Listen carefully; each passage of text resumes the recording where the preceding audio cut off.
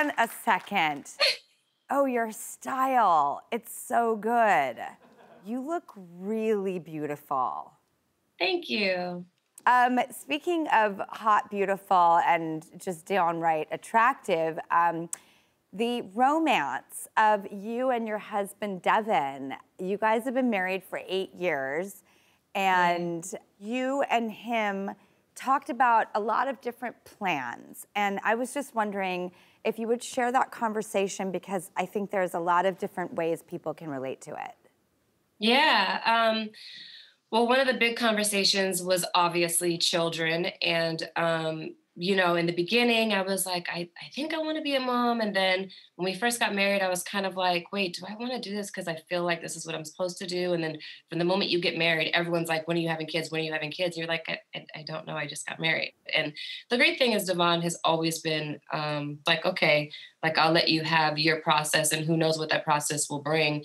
Um, and for me, it was really like, you know, do I want to do this? And for a minute I was like, I don't, I don't know that I do want to be a parent. And then I'd say in these last two years is when I've been like, wait, I actually do want to do this. So I'm excited about that now.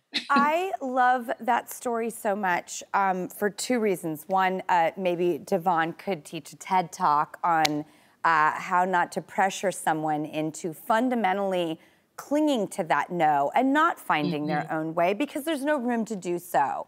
And yeah. also, when you do something for other people, it brings a whole other uh, bag of issues. Um, so I commend him and his style. I myself didn't know what my journey would be. I didn't have kids until I was 36. And hearing this from you, I think brings a tremendous um, calm to a journey. Thank you. Yeah, I th- think it's important. And also, I don't think it's fair to bring children into this world if that's not what you desire. You can't do it for someone else. I think one of the best ways I believe, and I don't know because I don't have them yet, but I do believe is this because you want to be a mother, you know, and you want to be a father. And I think that adds so much to it, you know. Well, and we women have that wonderful, delightful, beautiful ticking clock that can also be the pressure you know, yeah. that a DeVon didn't give you. We don't have mm-hmm. that luxury of avoiding that pressure. Right. And we all know how much men love pressure. So mm-hmm. it's complicated. And hearing your story, I just thought people could really benefit. And that decision, the way you've made that process, I thought was incredibly wise and beneficial to anyone who might be on a similar journey. Amen. Thank you. I and trying to that. figure it out. Um, yeah. Something else that I think you have really um, set a tone for is female directors. And I think that you and your partner, Tamra Bass, uh, have co directed yeah. a film together, a film yeah. um, that I know meant a lot to you. Will you tell me about that, please? Yeah, um, it's so crazy because I I've I directed a bunch of music videos, short films, um, web series, and I just wasn't expecting to be directing film at that particular point. And we had a director. We were um, waiting for the funding to come through. It had been almost, you know, six months at that point, and our director fell out because she um, had to go to another project.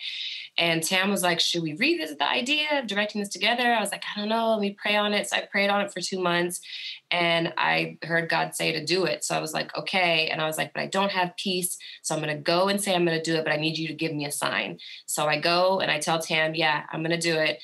And uh, eight minutes later, the bank called and the money dropped. And we've been waiting eight months exactly. So eight, eight number of completion. Ding, ding, ding, um, right? And i was like okay okay god's in it. And uh, it definitely was a labor of love. We ran into a lot of obstacles and um, super super proud of it. And i think that you know again we don't have these conversations which one of the characters is pregnant in the film and she's not sure that she wants to be a mother. And you have another character who can't get pregnant and it's really destroyed her marriage and, and caused a lot of issues for her. You know another character who's given up her dreams so that she could you know be kind of who her husband wanted to, her to be. And and you know it talks about everything addiction and so um, it's something i'm proud of because we as women don't get to explore these stories in their entirety. We touch on them and then we move on. So i love every the theme you just explored is so rich and exciting and it is wonderful to have films, you know, about women in general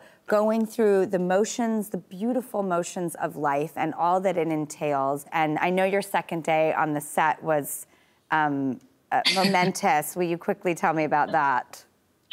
Um, well, the first day I was so focused on making the day and like everything and being ordered that I was fine. The second day I got to set before everyone else and I sat down and it really hit me.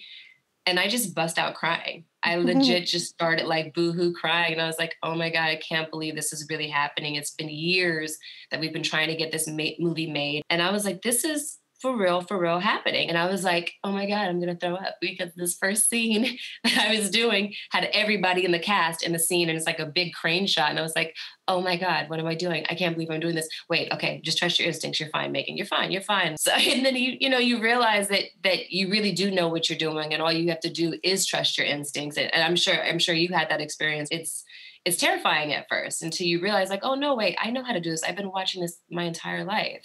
I absolutely relate to the awe and the emotionality as a woman. And two black women directing together is such a powerful thing. And I can't wait for this story that you're going to tell.